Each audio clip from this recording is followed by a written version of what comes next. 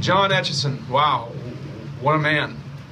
Um, my official AAR is that was that was a tough event. We did a lot of planning on the back end.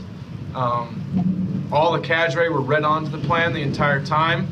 We knew what we were doing. We knew where to be when. Um, 53 people failing the PT standards, though, was a big surprise to me and the rest of the cadre. So that caught us off guard. Uh, that that many people showed up not able to pass the PT standard, and I can I'll echo everybody else who said anything. Just just come prepared for that. Come ready to not just meet the minimum standard, but exceed it.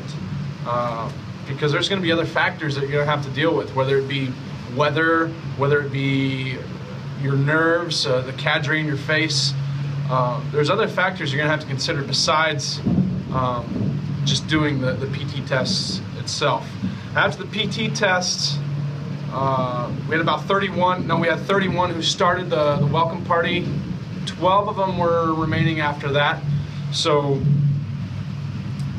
that's as simple as saying, hey, don't let people get into your head because we're, it's easier said than done. I know we're, we're kind of like magicians when it comes to getting into people's heads, but don't let us bother you. We had zero performance drops the entire GoRuck selection. So uh, that means everybody was either an admin drop because they didn't pass the PT standards, a voluntary withdrawal, which means they quit, or a med drop.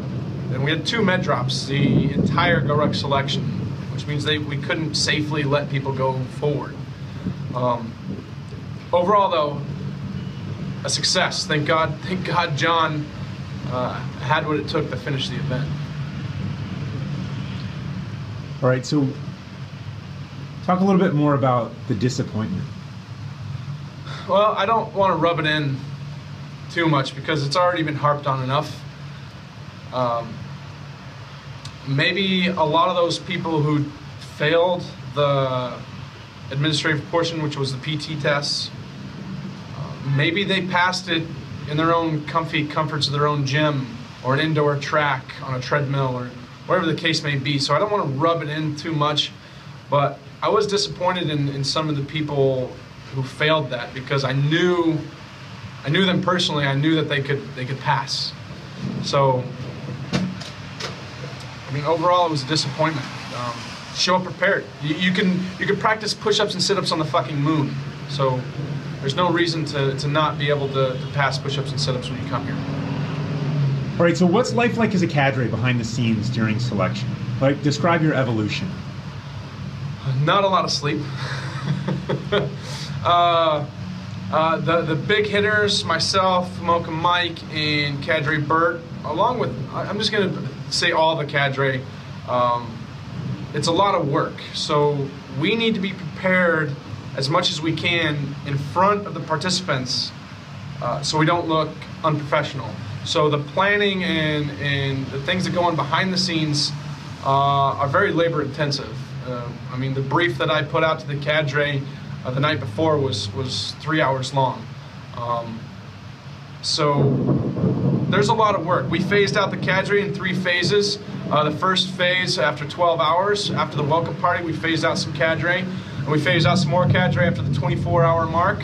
Uh, some of those cadres stayed on because they, they just loved to, to be a part of it. Um, but it's a lot of work, a lot of sleeping in vehicles, a lot of no showering, a lot of minimal food, and um, okay. Let me let me be more specific. What's the the emotional progression of a cadre? Like, do you enjoy GoRuck selection? No, no, I don't. It's my least favorite event because for me, it's the opposite of what GoRuck stands for. I love the GoRuck Challenge. That's my favorite event. It's very difficult. It's a challenge to everybody involved. Uh, but 94% of the people who start finish. So that being said, the majority of the people are there at the end, and the feeling of accomplishment is is high, and the camaraderie, uh, it, it's like a it's like a natural high for the people. So they, I love it. I love to be a part of it. I love to watch the progression of, of a GoRuck challenge. GoRuck selection is completely different. It's an individual event. It goes against everything that we stand for as a company. The, I mean, the, the reason why it was created is because people wanted more. People wanted an individual challenge. So we said, hey, no problem, we got it. We, we'll give you Hell Week, Hell Week of uh, Special Forces Assessment and Selection. That's what Go Ruck Selection is, is based off of. Um, so no, I don't like it. At the beginning, we're probably the first 24 to 30 hours, we're actively trying to get people to voluntarily withdraw. We're trying to get people to quit, trying to get into their heads, trying to get into their their psyche. After 24 hours or 30 hours, we don't need to do that anymore because it's already in their head that that they're hurting. So we kind of taper off and we start rooting for the remaining participants. Uh, the behind the scenes is is, is kind of funny because we all want these people to finish, but we're not willing to uh, lower you know, the GORUCK standards for for selection. So um, it's not like we're helping them along the way. What are your thoughts for people that might want to take it on? Train hard.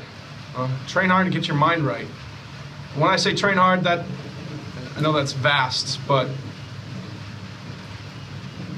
the administrative portion, you need to be well above the minimum that's the minimum standard. If we did the minimum standard in our special operations career, we'd be laughed out of the team room.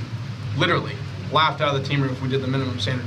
So show up uh, being able to knock that out of the park. Uh, if you show up being, being able to pass the administrative portions and quitting isn't even a thought on your mind, your chances of finishing GORUCK selection and getting that patch, getting this patch, uh, go up substantially.